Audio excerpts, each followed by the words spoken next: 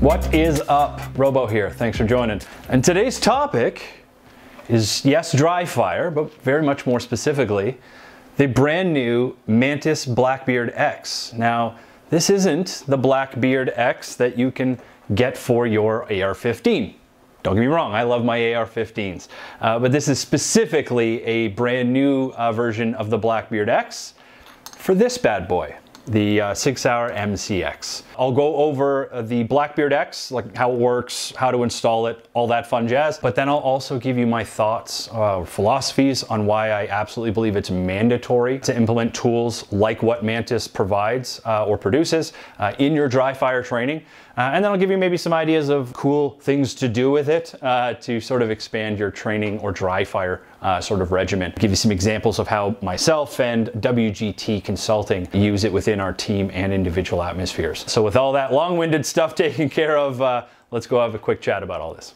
Well, ladies and gentlemen, this is the Blackbeard X system from Mantis. Now, yes, this is the very specific uh, version for the MCX, uh, and that's because they just released it. They had previously released a, a version of this for uh, the AR-15. And I guess before I go into full detail about what the Mantis uh, Blackbeard X is uh, and how it works, all that fun stuff, kind of got to tell you a little bit about Mantis if you don't already know. So they've been around for I don't know, a better part of more than half a decade now, five, six, seven years in around that timeline. Uh, and what they brought out to market was called the uh, Mantis X. Uh, it would attach to any Picatinny uh, style rail. Okay, so you can go on a rifle and go on a, on a pistol. And at its heart, it's just a gyrometer, okay? So it tracks all the motion data through different steps in your uh, dry fire, and then it sends all that data to an app on your phone via Bluetooth. Essentially, that app, which I'll go into in more detail, shows you statistical uh, information about that specific press and then etc. right? The second iteration of that was this much smaller version called the X10. So why Blackbeard X? Well, let's consider dry firing in general. Uh, and I'm just going to use a pistol here just for posterity's sake, no magazine in the firearm and uh, there's nothing in the chamber, okay, just for safety's sake here. Here's where the Blackbeard X sort of comes to be, okay?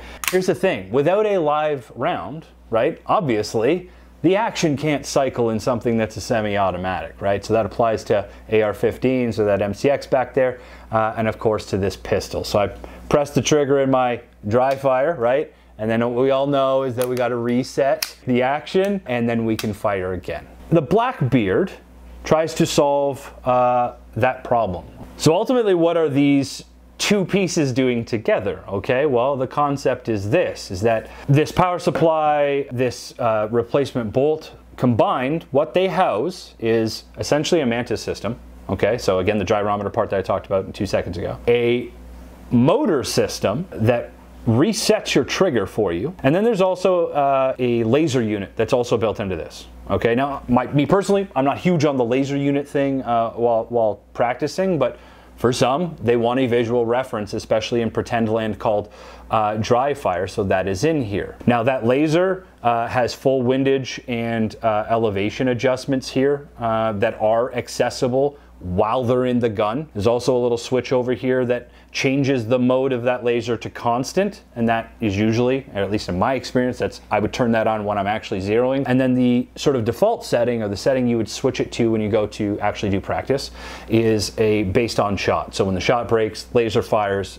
and then it turns off again that is at its heart what we're doing here, okay? Uh, I'll show you some close-up footage uh, of essentially that, uh, that res reset feature, but it's basically just like this little mechanical button uh, or a little mechanical arm. And what it does is it fully resets your trigger. You are using your fully functioning uh, trigger mechanism. So, you know, when you break that shot, sear releases, hammer flies forward, hits that little uh, recess and the button gets pushed back down, sear resets, the whole, the whole trigger process, right? As it feels naturally, shooting uh, either live or racking the bolt in between. So with that extremely long-winded explanation of what the Mantis Blackbeard X is, why it exists, what it does, uh, I'm just gonna quickly throw it in the MCX to show you guys just how brutally easy it is uh, to actually install this.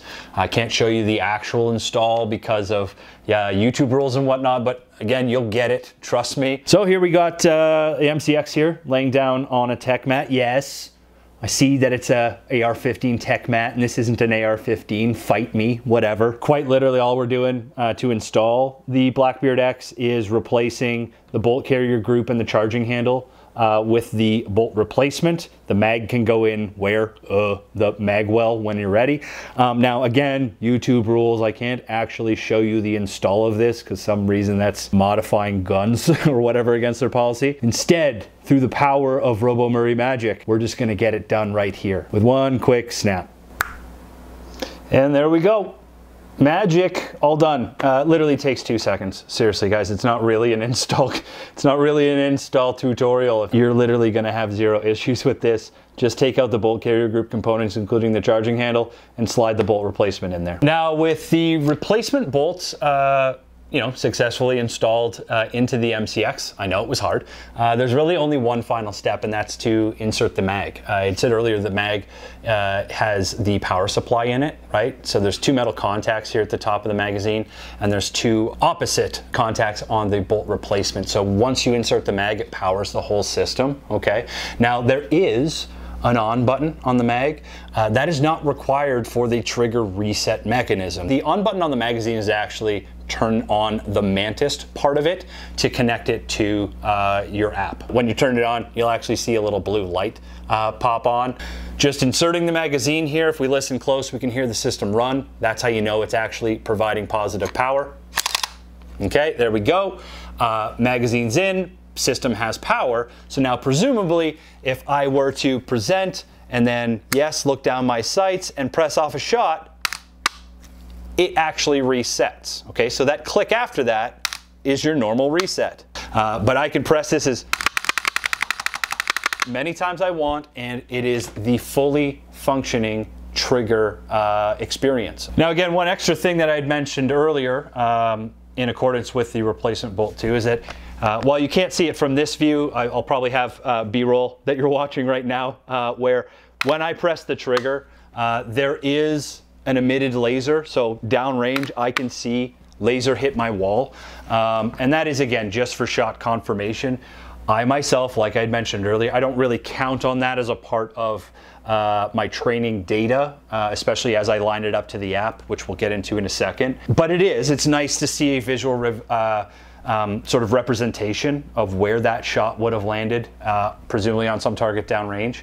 Um, some people like that. I'm not big on it, but it is built into this. So ultimately, I mean, why should we care, right? Like why, why should we care about using you know, a device like the Blackbeard X or the Mantis uh, X10 Elite, like on our pistols, that sort of deal. Why? Who cares, right? Like I'm pressing shots, Rob. Um, why do I need to buy this extra thing um, to give me, you know, some sort of app access kind of deal? Well, at the end of the day, and I think you guys have heard me say this before in other pieces of footage, probably in passing, right? Like, I'm a big believer on the limitations of the human senses. Okay, so uh, are humans good at noticing things? Sure, right? Within the, no the, the, right context and the right limitations. Uh, but we all understand, like if I use the example, like bacteria, right? Like bacteria exists. We can look at them under a microscope, but our eyes can never see them, right? So at some terminal limit, no matter how attentive we are uh, in the dry fire process, um, without some sort of external metrics, and I mean, you know, mathematical, statistical, scientific, something that, you know, something that can do the job of what we're trying to achieve but outpaces the human performance aspect of that, uh, I'm always a big advocate. Let me give you an example, okay? Now, again, I'm going to switch back to the pistol here just because it's a really easy item to hold and explain this, and the concept still transfers to rifles, okay? And that is, Let's pretend I didn't have this optic uh, on, on, this, this firearm. So I'm just using the irons, right? You know, during uh, dry fire, you know, most people are, what they're trying to achieve, right, is that perfect, like, hey, front post, equal height, uh, equal light. It doesn't move when I press the trigger. So I'm staring at this front post and I press the shot and what I perceive happening to that front post in relation to the, to rear sights, right? Like if no movement happens, then I presume what I was aiming at was a 100, 100% successful shot, right? Well, that may be true to some degree. Like depending on your skill, you might be that good, right? Now, is it 100%? I don't know. Now let's go back to the concept. Did the front post move? Like, did you perceive it? Now, if you did perceive movement, by how much? What direction? How much in which directions? At what time, right? These are the things that you know, especially like even in a sanitized training scenario, like where again I'm just in my quiet home and I'm pressing off dry fire shots, there's a limit to which our eyes and brain can notice. Again, main point, I don't want to beat this dead horse, especially since I've already literally slaughtered the horse. At the end of the day, there's a limit to which our human senses are not going to be able to pick things up. I mean, this is the story of the human experience, right? Like, we can all look up in the sky and see stars, but we'll never be able to see stars like a telescope can. If I'm going to be dry firing, okay, I'm, I'm, I'm going to be concentrating, I'm going to be pressing those shots, I'm going to be looking at my fundamentals, I'm going to be trying to keep awareness of all this stuff. If Mantis can track that for me, to such an nth degree better, yes, I will take it every day. So with all that being said, uh, let's talk about the app. Let's talk about uh, some of the benefits uh, of the app and the data that comes out of it, how we use it uh, at WGT and how I use it personally. So guys, just a really quick view of the app here that goes uh, with all the Mantis devices. Obviously, when you first sign in, you uh, would connect your device. I'm just gonna skip that because it's actually off and on the table over there. um, but inside the app, what you see is uh, you have a ton of drills, okay? These are the universal ones, these ones down here under drills. So you can use this as Blackbeard, um, like for open training, for example, has no structure, it's just on your own time. Uh, I can use that for both pistols as well as, uh, as uh, rifle with the Blackbeard X, right?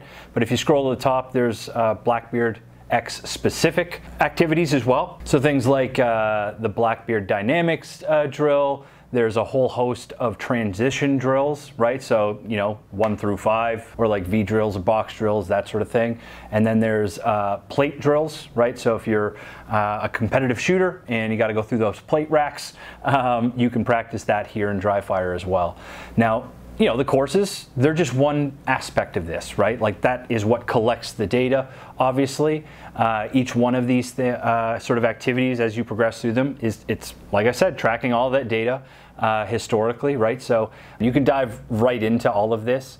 It gives you that feedback, that data. So while you're not at the range, you're not just relying on the human sort of senses component. I'd sort of maybe mention this as well. Uh, the WGT sort of group uh, uses this to practice with one another when we're between training sessions because we don't live near each other, right? So the other aspect to the Mantis app in conjunction with the Blackbeard X. Because you're not having to rack anything, it's introduced for me a new use for the Mantis, and that is dry fire training at speed. I can actually run the gun at speed under dry fire and because I'm at speed, like I'm not concentrating like super hard on all those micro pieces that we would in a, in a, in a focused dry fire session, I'm still getting all of that data collected and I can see how it actually applies from concentrated dry fire versus say running again a drill like a one through five. So, you know, it's your opportunity.